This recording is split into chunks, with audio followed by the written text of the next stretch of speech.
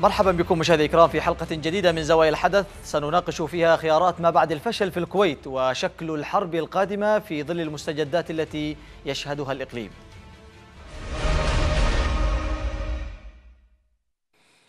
ماذا بعد الفشل في الكويت؟ الجميع يطرح هذا التساؤل منذ اللحظة التي بدت فيها مشاورات الكويت مجرد استراحة بين متحاربين. بعد أربعة أسابيع من الدوران في حلقة مفرغة في الكويت وبعد تعليق الوفد الحكومي مشاركته أكثر من مرة آخرها مستمرة منذ أربعة أيام. يبدو أن التفكير بخيارات ما بعد محطة الكويت صار هو الشاغل للسلطة الشرعية ومن خلفها التحالف كما هو أيضا بالنسبة للميليشيا وداعميها. يتجلى هذا في التحضيرات التي يجريها الطرفان فالميليشيا التي لم تتوقف حربها يوما واحدا خلال المشاورات لا تزال ترسل تعزيزاتها إلى مختلف الجبهات استعدادا للمعركة المنتظرة فيما الحكومة تخرج المزيد من الدفعات العسكرية استعدادا لذات المعركة. في ظل كل هذا لم يعد التساؤل متى ستعود الحرب بل السؤال الحقيقي الذي يفترض التفكير فيه حاليا هو ما شكل الحرب القادمة. هذا التساؤل تفرضه مستجدات المشهد وخصوصا ذلك التراجع الذي يمكن ملاحظته في توجيهات التحالف العربي نحو مكافحة ما يسمى الإرهاب وتصريحات وزير الخارجية السعودي عن تغير أولويات بلاده في اليمن من محاربة الحوثيين إلى مكافحة الإرهاب. ومع تقدير أنه من غير المتوقع أن تتوقف السعودية في منتصف حربها في اليمن فإن من المنتظر أن تتخذ الجولة القادمة من الحرب اليمنية شكلا آخر ربما تلعب فيه السعودية دورا غير مباشر على العكس مما كان قائما طوال جولات الحرب السابقة لأكثر من عام. خيارات ما بعد فشل جولة الكويت وشكل الحرب القادمة ستكون محور نقاشنا لهذا المساء. قبل البدء بالنقاش نتابع هذا التقرير ومن ثم نعود. تكرموا بالبقاء معنا. الحرب التي لم تتوقف أصلا على وشك أن تعود. بعد هدنة هشة متزامنة مع المشاورات السياسية القائمة في الكويت منذ أربعة أسابيع. لا يبدو أن طريق السلام هو المسار الذي ستمضي فيه الأزمة اليمنية بعد أكثر من عام من الحرب. مشاورات الكويت التي كان من المفترض أن تقود إلى حل سياسي للأزمة تقف على أعتاب الفشل ومنذ اللحظة التي انطلقت فيها وهو الأمر الذي يزداد تيقنا كل يوم بعد تعليق وفد الحكومة مشاركته فيها قبل أيام واستمراره في رفضه العودة إلى طاولة المفاوضات قبل إقرار الميليشيا بالمرجعيات الأساسية التي تستند إليها المشاورات والشروع الجدي في بحث أجندة الحل المفترضة وتنفيذ الاتفاقات السابقة. وهو ما يبدو أنه لن يحدث. خلال الأربعة أسابيع الماضية لم تتغير الاحتمالات إلا بشكل طفيف فمع استمرار المماطلة والتعنت من قبل الميليشيا في الكويت استمرت حربها على مختلف الجبهات وكذلك تحضيرات هذه الحرب القادمة. فبعد تقرير لجنة الإشرافية على وقف إطلاق النار في تعز عن قيام الميليشيا بإرسال تعزيزات عسكرية بينها صواريخ باليستية. إلى منطقة ذباب أعلنت اللجنة العسكرية التابعة للحكومة والمكلفة برصد الخروقات تسجيلها أكثر من 5860 خرقا في مختلف مناطق البلاد منذ بدء الهدنة في العاشر من إبريل الماضي. في مفترق الطريق بين الحرب والسلام وبعد أن ثبت أن تواجد الميليشيا على طاولة المفاوضات ليس أكثر من محاولة منها لتخفيف الضغط عليها. وبعد تصاعد مؤشرات الفشل في الكويت هل تعود الحرب؟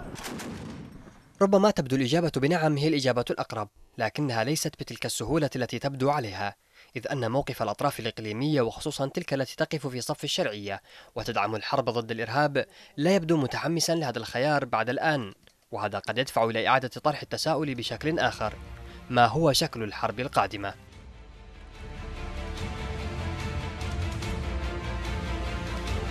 حياكم الله من جديد مشاهدينا الكرام وللإجابة على هذه التساؤلات سيكون معنا الآن من الرياض رئيس دائرة التوجيه المعنوي اللواء محسن خسروف. سيادة اللواء مساء الخير.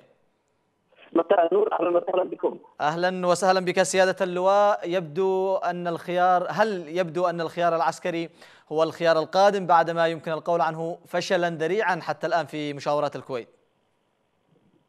هذا ما يمس الرمق وخاصة إذا كانت شكوك الناس بان المجتمع الدولي أو الناس بان المجتمع الدولي قد بدأ يتخلى عن اليمن وأنه ربما كما يشاع يعني يتماهى أو يتعاطف مع طرف الآخر لاننا نتكلم المجتمع الدولي أن اقترح منطقة وسط بين ما يريده الطرفان. نحن نعرف ما ما تريد الدولة والشرعية والديمقراطيه المجتمع المدني وما يريده الانقلابيون هذه مسألة معروفة يعني. نعم وتحقيق وتحقيق ما يريده كل طرف بالملي بالصمتي بالمسطرة مكانه هناك قتال وليس المفاوضات. المفاوضات دائما فيها نقاط وسط يعني. نعم. والمجتمع الدولي الوسطاء القانون المسؤولون المشاورات صار ان يكون لهم دور ايجابي في هذا الاتجاه. بحيث يصل الطرفان المتشاوران المتفاوضان إلى قمة سواء نقطه يعني آه، آه، يكون في الفائز هو الشعب اليمني نعم. وليس وليس هناك مهزوم أو هناك منتصر لكن هناك فائز اسمه الشعب اليمني نعم. حتى الآن هذا لم يحصل. نعم. على العكس نرى بعض يعني بعض المواقف تشير إلى تماهي مع الكلابيين آه، من بعض الدول الكبرى مع الأسف الشديد يعني. ما مدى تأثير مدى ت... نعم سيادة اللواء مدى تأثير هذا التماهي بالنسبة للمجتمع الدولي مع ميليشيا الحوثي؟ تأثيره أمر ايجابي على الاطلاق بالنسبة للمجتمع اليمني لأن هناك شيء قضيه ينبغي أن تكون مفهومة لدى العالم كله. قرار استعادة الدولة والشرعية قرار سياسي قد اتخذه الرئيس الدولي الاسرائيلي وتدعمه في هذا الاتجاه دول التحالف. وهذا القرار هو يعني قد صدر وكلف بتنفيذه كل من الجيش الوطني والمقاومة الشعبية وهو الشعب اليمني. نعم. استعادة الدولة استعادة الدولة ليس هناك من السبيل لاستعادتها إلا يعني ليس نفس طريقين يعني نعم الحرب وهذه مهمة القوات المسلحة والمقاومة والسلام أو الطرق السلمية وهذه مهمة الوفد الحكومي الموجود في الكويت آه، للتفاوض في هذا الاتجاه وكل الناس آه، اليمن كل اليمنيين لا يريدون السلام ولا يريدون الحرب ولا يريدون الاستقرار ولا نعم. يريدون أن تعايش كل القوى السياسيه في المجتمع اليمني بدون استثناء في ظل الدولات الشرعية والمؤسسات والدستور والقوانين وأن يكون السلاح الأقوى في أي كل جماعة هو البرنامج السياسي نعم. في اطار الدستور نعم. هذا ما نريده. نعم. لكن يبدو أن الانقلابيين آه، يدفعون بالمجتمع اليمني في اتجاه الحرب. نعم. سيادة اللواء. نعم. سيادة اللواء تكرم بالبقاء معنا وسنعود بك الاتصال مرة أخرى لأن هناك إشكالية بسيطة في الصوت. لم نتمكن من سماعك ب- بشكل أوضح. سنعود بك الاتصال مرة أخرى. ينضم إلينا الآن الكاتبة والسياسية والباحثة السياسية ميساء شجاع الدين من القاهرة. أستاذة ميساء مساء الخير. مساء النور. أهلا وسهلا بك أستاذة ميساء. يعني بعد أربع أسابيع أستاذة ميساء في الكويت إلى أين تتجه الأزمة اليمنية برأيك بعد عدم تحقيق أي تقدم في المشاورات؟ أتصور أكيد بديل المفاوضات هي الحرب. مو واضح أنه في اختلاف بين القوى. لصالح الحوثي القوى موجودة الآن القوى العسكرية. هم مسيطر لا يزال على الشمال بشكل يعني بشكل كامل. نعم. ومن الناحيه السياسيه أيضا الح- الحكومة ما قدرت تثبت حضورها في المناطق اللي هي المفروض سيطرتها مثل عدن نعم. آه، وأنا كنت كان بيصب غير صالح الحكومة. فبالتالي ما كانش في توازن. قوى اعتقد إنه الحال آه، يعني ممكن يكون البديل هي حرب يعني. نعم. شكل ال...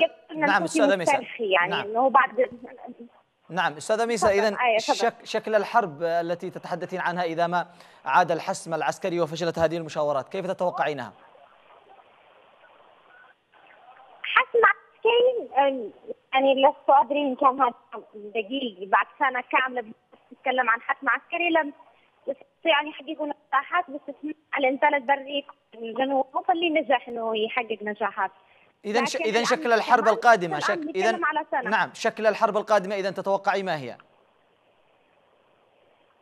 آه، لا أدري هو يعتمد على حسب طبيعة الدولة السعودية، هل السعودية قررت بموجب اتفاقها مع الحوثي الذي لا نعرف تفاصيله إنها تنسحب تماما من الحرب بحيث نعم. إنها حتى لا تكون غطاء جوي حتى لل للقوات البرية اللي بتقاتل الحوثي هذا ممكن جدا يأخر أي تقدم عسكري لهذه القوات إذا لا يوجد غطاء جوي. نعم إذا يوجد غطاء جوي وتوجد هناك استراتيجية عسكرية واضحة ممكن ممكن يحصل تقدم عسكري ما يؤدي لاختلال توازن القوى أو ممكن مثل ما بتقول حسم عسكري أو شيء من هذا القبيل فيحصل نوع من الانكسار نعم. يؤدي إلى تسوية سياسية ما يعني في النهاية نعم. هي أصلا الحوثي كقوة سياسية هو سيظل موجود حتى مهما. يعني لا يمكن هذه القضاء على حركة الحوثي. نعم. بهذا. آه، تكر آه، أستاذة ميساء تكرمي البقاء معنا. أعود إلى السيد آه، سيادة اللواء محسن خسروف رئيس دائرة التوجيه المعنوي. سيادة اللواء عدنا لك من جديد. اذا يعني أنتم دائما تتحدثون ال- الحكومة وأيضا الجيش. يتحدث بأن الحسم العسكري هو الخيار الوحيد أمام الشرعية في ال- اليمن. اذا هل ستشهد المرحلة المقبلة حسما عسكريا آه، سيكون نفس الجولات السابقة؟ أنا لم ال- ال- الحسم العسكري هو الخيار الاوحد لدى الحكومة. نعم. لم أقول هذا مطلقا والا ما ما معنى وجود وفد الحكومة برئاسة نائب رئيس الوزراء ووزير الخارجية في الكويت؟ الحكومة خيارها الأول هو السلام هو الحوار هو التفاهم هو المنطقة المنطقة التي تجتمع فيها مصالح كل يميني هذا خيار الدولة خيار الرئيس. خيار الحكومة خيار القوى السياسية المدنية ليس خيارنا الحرب على الإطلاق. خيار الحرب هذا خيار الانقلابيين نعم. ليس خيارنا لكن أنا بقول لك إذا كانت ال- ال- القوى الانقلابيه تدفع بالمجتمع اليمني نحو الحرب فلا مجال أمامنا إلا ان أن نقبل بهذا الدفع يعني أو أو نقابله يعني. نعم. فلكل فعل رد فعل موازي له في القوى ومضاد له في الاتجاه هذه مسألة طبيعية. نعم. وأنا دائما أستخدم هذا المصطلح الكرة في ملعب الانقلابيين وليست في ملعب الحكومة. نعم. وال- والخيار لل- للانقلابيين. أقول وأردد ما أقوله 20 مرة مليون مرة. إن أرادوها سلما فهي لهم وإن أرادوها حربا فعليهم. أما الدولة فخيارها هو السلام. فإذا لم يكن من من طريق سلمي لاستعادة الدولة فالقوات المسلحه والمقاومة الشعبية. لديها التوجيهات الكافية في تنفيذ الأوامر نعم. التي رئيس نعم الجمهورية. سيادة اللواء لا شك أنك مطلع على الضغوطات الدولية التي تمارس على السلطة الشرعية للانخراط في المباحثات واستمرارها في الكويت في المقابل كما تعلم ميليشيا الحوثي تماطل ولم تنفذ حتى أي بند من بنود ال- ال- المتفق عليها والجميع الآن يرى بأن ال- الميليشيا آه، أخذت جولة من الاستراحة لإعادة ترتيب أوراقها لكي تعيد حربها من جديد إذا السؤال الآن آه، الجيش الوطني التحالف العربي هل سيكون قادم الأيام إذا ما عادت الميليشيا للحرب بنفس الوتيرة بنفس التنسيق آه، بنفس الدعم لقوات الجيش ال- الوطني أم هناك تراجع أو آه، حرب قد تبدو جديدة؟ لا سيما بعد تصريح وزير الخارجية السعودي الأخير بأن الأولوية لمكافحة الإرهاب. هذه مسألة سياسية. فيها نظر. والمملكة العربية السعودية وقيادتها حرة في أن تختار ما تشاء. نعم. لكن آه، قوى التحالف أو دول التحالف لديها مهمة رئيسية وهي استعادة الدولة والشرعية في اليمن. والجميع مركب واحد. نعم. يعني لن لن ينجو طرف دون آخر. أي انكسار للشرعية اليمنية أو انكسار في الحالة السوية في المجتمع اليمني أو إخلال بالمعادلة القائمة الموجودة الآن لن يقتصر آه، آه، تأثيره على ال- ال- ال- الدولة الشرعية أو على آه، الشطر الشمالي من ال- ال- الوطن كما يقال. نعم. تأثيره السلبي سينعكس على منطقة الجزيرة العربية والخليج العربي بشكل عام. نعم. لذلك مس- مسؤولية الوصول إلى حل إيجابي آه، فيما يتعلق بالدولة اليمنية والشرعية. مسؤولية كل دول التحالف وال- والجيش اليمني هو جزء من قوة التحالف. وليس جزءا منفردا. نعم. الجيش اليمني يقاتل كجزء من قوة التحالف ويحظى بغطاء جوي ودعم لوجستي من دول التحالف. نعم. فأي كلام خارج هذا الإطار هو كلام لا يعد كونه كلام سياسي. نعم. وإذا ما حصل شيء من هذا القبيل فساعتها لكل حادث حديث. نعم. إذا سيادة, سيادة اللواء أيضا إذا ربطناها بتصريح آه، ال- ال- المتحدث باسم آه، التحالف العربي آه، العميد أحمد عسيري عندما تحدث بأن إذا لم تنجح مشاورات الكويت فستدخل الشرعية وسيدخل التحالف إلى العاصمة صنعاء وستعود ال- ال- ال- الحكومة الشرعية إلى صنعاء. أهمية هذا التصريح بالتوازي مع آه، فشل مشاورة ال- الكويت أو توقع فشلها. العميد العسيري رجل عسكري ويتكلم كلام مسؤول من منطلق عسكري. نعم. وابعاده عسكرية و- و- و- ومآلاته عسكري أيضا. نعم. وزير الخارجية يتكلم كلام سياسي. فهذا شيء وذاك شيء آخر يعني. نعم. فينبغي ان ان ان يؤخذ كلام العسيري على محمل الجد يعني. نعم. وأما كلام السيد وزير الخارجية آه، فأبعاده السياسية لا نعلمها نحن يعني. وهذه نعم. مسألة تماما تخص المملكة العربية السعودية. وليس لاحد أو طرف آخر أن ان يقف آه، في مواجهتها. نعم. شأن داخلي. لكن العزيز يتحدث من قوة التحالف. نعم. شير وزارة الدفاع والناس قررت من قوة التحالف. فكلامه يعني هو الكلام الذي يعول عليه. نعم. سيادة اللواء سؤال أخير أودعك فيه. آه، هل بات الجيش الوطني والتحالف العربي هذه المرة أكثر استعدادا وأكثر نية للحسم العسكري ولا خيار غير ذلك وبأسرع وقت؟ لو توفرت النوايا الحسنه فيما يتعلق بالجيش اليمني والمقاومة الشعبية ودعمهم الدعم الكامل والكافي لكان قد استطاع أن يحسم الأمر منذ فترة آه، أبعد من من- لو كنا قد خلصنا يعني. لكنا الآن في طور إعادة بناء الدولة. نعم. أشكرك. جزيل الشكر سيادة اللواء. رئيس دائرة التوجيه المعنوي محسن خسرف كنت معنا عبر الهاتف من الرياض. عودة إلى السيدة ميساء شجاع الدين أستاذة ميساء إذا أنت آه، يعني هذا التغير الذي آه، اللي حاصل الآن كيف سيؤثر على المشهد اليمني بشكل عام؟ كما تعلمين البلد تنهار اقتصاديا.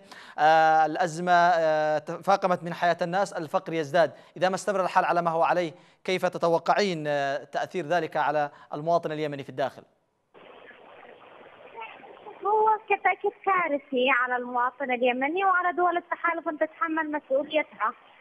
يعني ليست فقط مسؤولية عسكرية بل أيضا مسؤولية اقتصادية وعليها أن تتعامل حتى مع البنك المركزي في صنعاء وإذا تستطيع إيجاد أيضا أشياء موازية يعني بنوك بنك موازي له في عدن هذا أمر جيد أيضا. نعم. لكن لابد من التعامل أيضا مع البنك المركزي الصناعي وعليها أن تتحمل مسؤوليتها الاقتصادية خصوصا إنه أيضا في نعم. مسألة الحصار والتحكم بمنافذ اليمن البرية والبحرية والجوية بيعطل كثير عملية الاستيراد والتصدير وبيصعب من الحركة من وإلى داخل البلد فهو أحد أسباب ال- نعم هذه هذه الأسباب فهو أيضا أحد أسباب الوضع نعم. في في ال- الوضع الاقتصادي فلا بد أنها أيضا هي تتحمل مسؤوليتها لأنه في الأخير الميليشيا لا تستطيع أن تطالبها بتحمل المسؤولية. لماذا لماذا لا نستطيع لماذا؟ استاذه استاذه أستاذة ميساء لماذا لأنها ميليشيا هي لكنها مسيطرة على الدولة أنه والبنك المركزي البنك المركزي إيرادات الدولة لا زالت تصل إليها وهي من تتحكم بها. للأسف هذا اللي حاصل. وللاسف إن السبب في اللي حاصل واستمرارة وفي اللي حصل هو الاداء السياسي الضعيف للحكومه نعم يعني خلينا نكون واضحين أيضا إنه بيزيد من سوء الحوثي إنه سوء الحوثي نحن وضعنا تحت رحمة الحوثي بسبب رداءة الأطراف السياسية الأخرى البديله الموجودة والتي كانت في وقت ما قبلها تحكم صنعاء والآن حتى غير قادرة على التحكم بعدا. ف نعم. يعني هذا هو الوضع الحالي عندنا طرف عاجز اللي هو طرف الحكومة طرف عاجز باختياره وبإرادته لأنه طرف يفشل في تحمل مسؤوليته؟ ما ما هو العجز أستاذة ميساء ما ما هو العجز؟ نعم أستاذة. ميساء ما هو العجز بالنسبة للحكومة الشرعية وفد الحكومة يفاوض الميليشيا آه، من انطلاق قرار مجلس الأمن 22 يرجعوا لعدن يعني مساله مسألة عدم عدم عودة ال... انها ترجع لعدن. نعم يعني مسألة عودة الحكومة لها دلالة كبيرة بالنسبة عدن. وصل المرحله الوضع في عدن الوضع الأمني إنه تتحكم فيه ميليشيات من الضالع بقيادة شلال شايع. هذا وضع خطير. هذا شلال يعني شايع المدينة شلال لا شايع يا. أستاذة ميساء أستاذة ميساء شلال شايع مدير آه، شرطة عدن معين بقرار جمهوري وأيضا محافظ عدن معين بقرار جمهوري وادى اليمين الدستورية وهم شلال شايع شلال شايع بيتحرك بشكل ملشاوي داخل عدن وليس كأنه قيادي أمني مسؤول عن الحفاظ على الأمن داخل المدينة. هو يتحرك في إطار الدولة أستاذة ميساء.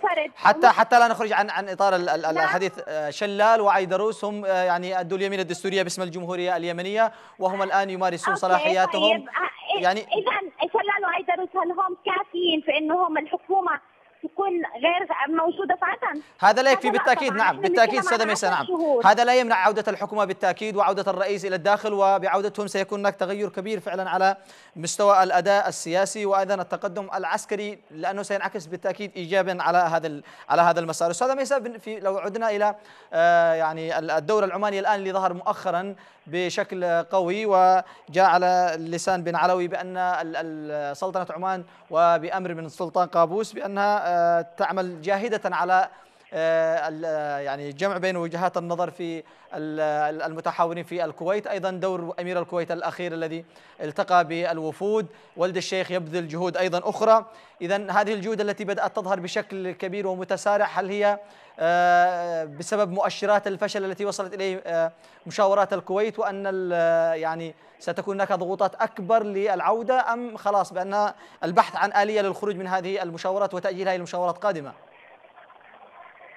أو طبعا في محاولة على الأقل ولو حتى بتقديم نجاح بسيط يعني إنها تكون مفاوضات الكويت حتى لو مطولة ومتصل التسوية السياسية نهائية تكون على الأقل نعم. يعني زي ما تقول تضع حتى أساس أو تضع أساس لإمكانية التفاوض في مراحل لاحقة آه على أسس تسوية يعني مطروحة. في الكويت هذا الحفظ مع وجه يعني نعم. وحفظ مع وجه المندوب المبعوث الأممي الحفظ مع وجه الكويت. دولة مضيفة لها أكثر من شهر يعني أعتقد أنهم حيحاولوا على الأقل أعتقد التسوية السياسية شاملة ما هيش مطروحة في الكويت نعم. لكن أظن أن هذه الضغوط كلها في إطار وضع أسس لإمكانية تسوية سياسية إمكانية الاتفاق على تسوية سياسية في مرحلة تفاوضية لاحقة. آه، شكرا جزيلا لك يا الكاتبة والباحثة السياسية الأستاذة ميساء شجاع الدين شكرا جزيلا لك كنت معنا عبر الهاتف من القاهرة. إذا ينضم إلينا الآن في محورنا الأخير الأستاذ الكاتب السعودي سليمان العقيلي. أستاذ سليمان مساء الخير. مساء النور لك ولمشاهديكم. أهلا ومرحبا بك. أستاذ سليمان يبدو أن جولة الكويت في من المشاورات اليمنية لن تصل إلى حل آه، هل تعتقد أن لدى التحالف خطة بديلة تتضمن لحسم عسكري أم هناك أيضا مؤشرات لوجهات نظر أخرى؟ في الواقع إنه الإشارات التي صدرت من التحالف ومن وزير الخارجية السعودي إشارات في الواقع متوازنة مرة جزرة ومرة عصا وهي يعني آه، آه، لا تخرج يعني برؤية عن توجه محدد يعني أو أو لنقل توجه يعني يفيد بتراجعات أو مثل ما يعني يعتقد البعض. هذه نقطة، النقطة الثانية إنه لا شك إن المتفاوضين كلاهما في الكويت يتعرضان إلى ضغط دولي شديد وربما ربما أيضا إقليمي آه، وخاصة من الكويت وعلى اعتبار يعني إنه توقف انهيار المفاوضات سيؤدي إلى استئناف الحرب. نعم. وهناك حرص في الواقع من القوى الدولية إنه آه، يعني لا آه، لا تستأنف الحرب نعم. وهناك يعني ما يشبه الضغط بأنه التلويح بالسيناريو السوري نعم. بأن تدور قضية اليمن إذا خرجت وهل وهل سيسمح نعم وهل سيسمح التحالف أن ترجع آه، إرجاع القضية اليمنية بما آه، مثل ما هو حاصل في سوريا أم ستستمر بنفس الوتيرة بنفس التنسيق بنفس الدعم في اليمن حتى يتم الحسم العسكري؟ وأيضا انطلاقا من تصريح العميد عسيري بأنه إذا فشلت الكويت ستكون هناك يعني حسم عسكري وستدخل الشرعية إلى صنعاء. أنا أعتقد إنه إنه الخيار الآن هو يعني الدعم العسكري وربما السري أيضا من يعني أو الدعم الخاص يعني الذي لا يدخل في إطار يعني العمل العسكري الكامل. آه، آه، آه، لأنه حتى الآن يبدو لي إنه سلاح الجو للتحالف العربي شبه محيد وهذا في الواقع مكسب للحوثيين.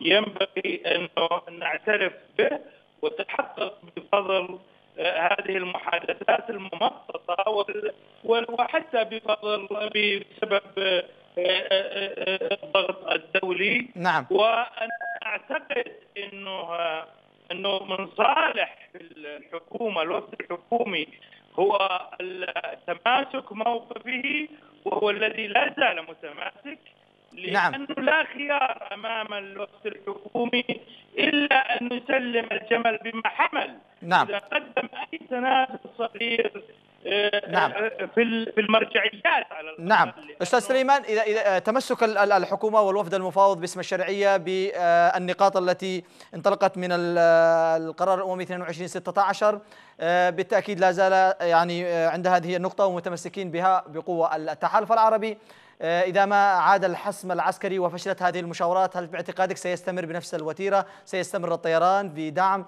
آه، دعم لوجستي دعم ميداني في آه، مثل الحرب التي انتهت أو آه، التي توقفت قبل مشاورات الكويت. أنا اعتقد أنا أعتقد انه هناك يعني آه، يعني بالفعل ضغوطات على التحالف العربي لي- ليست لصالحه وهناك أنا أعتقد حتى يعني تهديدات بالسيناريو السوري كيما تخرج ربما القضية اليمنية من يد اللاعبين المحليين. والأقليميين و- وفي هذا في الواقع خسارة كبيرة لأنه نحن رأينا العبث بمصير السوريين والخطط التي نسجت هل سيسمح التحالف. أستاذ سليمان هل سيسمح التحالف وبقيادة المملكة العربية السعودية لأن يذهب اليمن للسيناريو السوري؟ لا أنا أعتقد أنهم يحاولون تفادي ذلك ولكن هذا يعتمد على مدى هامش المناورة السياسية يعني انت أنت لازم يكون في بالك إنه الجميع داخل في إطار التكتيك السياسي أو المناورة السياسية والكل يكذب على الكل والكل يناور على الكل وكل يعني يتحدث عن التسويه وعن السلام وهو يستعد يعني في الواقع لما بعد أشكرك. آه، السلام آه، لما بعد آه، لما بعد المفاوضات.